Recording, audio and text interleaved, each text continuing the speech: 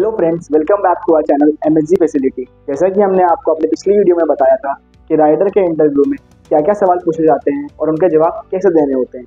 तो उसी सीरीज़ को आगे बढ़ाते हुए आज हम आपके लिए लेकर आए हैं राइडर की रोल्स एंड रिस्पॉन्सिबिलिटी तो चलिए जानते हैं राइडर की रोल्स एंड रिस्पॉन्सिबिलिटीज के बारे में। इसमें सबसे पहले आता है बैंक के वर्क और फाइनेंशियल टास्क करना।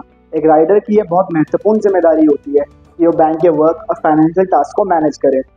जैसे बैंक में चेक डालना, वहाँ से कैश विड्रॉ करना और कोई अर्जेंट डॉक्यूमेंट वहाँ सबमिट करना।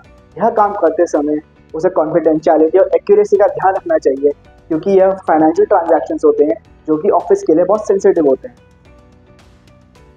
इसमें अगला पॉइंट आता है ऑफ़िस सप्लाईज को अरेंज करना। कई बार ऑफ़िस में ऐसी सिचुएशन आती है कि कोई आइटम हमें अर्जेंटली चाहिए होती है बट अवेलेबल नहीं जैसे पेन पेंसिल या फाइल्स इस सिचुएशन में राइडर की रिस्पॉन्सिबिलिटी बनती है।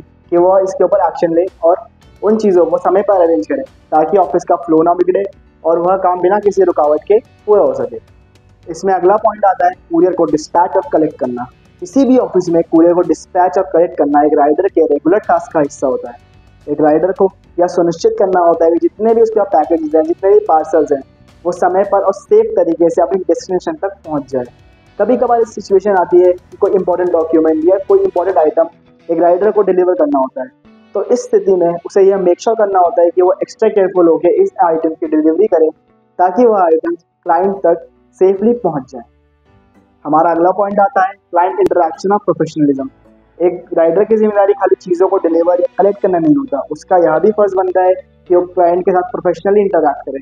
फॉर एग्ज़ाम्पल अगर वो डिलीवरी नहीं क्लाइंट के पास जाता है तो उसकी यह ज़िम्मेदारी बनती है कि सबसे पहले वो उनको ग्रीट करे देन प्रोफेशनली उनके साथ इंटरेक्ट करे। क्योंकि उसका एटीट्यूड और कम्युनिकेशन स्किल्स डायरेक्टली कंपनी को रिप्रेजेंट करता है। इसमें अगला पॉइंट आता है क्लाइंट की कंप्लेंट्स को हैंडल करना। कभी कभार डिलीवरी डिले होने के कारण क्लाइंट नाराज़ हो जाता है। तो ऐसी सिचुएशन में राइडर को पेशेंस और अंडरस्टैंडिंग से काम लेना चाहिए और क्लाइंट को अपने लेट आने की वजह बतानी चाहिए। इसके अलावा उसे इस सिचुएशन को प्रोफेशनली हैंडल करना चाहिए और ऐसी सिचुएशन दोबारा ना आए, इसकी कोशिश करनी चाहिए। इसमें अगला पॉइंट आता है ऑफिशियल डॉक्यूमेंट्स की फाइलिंग करना। एक राइडर की यह भी ज़िम्मेदारी बनती है कि जितने भी ऑफिशियल डॉक्यूमेंट है, जैसे लीगल पेपर हो गए एग्रीमेंट्स हो गए या इन्वर्सेस हो गए, इनकी प्रॉपर तरीके से फाइलिंग करें और सही सीक्वेंस में ड्रॉर के अंदर रखें, ताकि समय आने पर या काम पड़ने पर इन्हें निकाला जा सके। इसके सहित उसकी यह भी ज़िम्मेदारी बनती है कि वह इनका प्रॉपर रिकॉर्ड मेंटेन करे और यह सुनिश्चित करे कि यह मिसप्लेस और लॉस ना हो।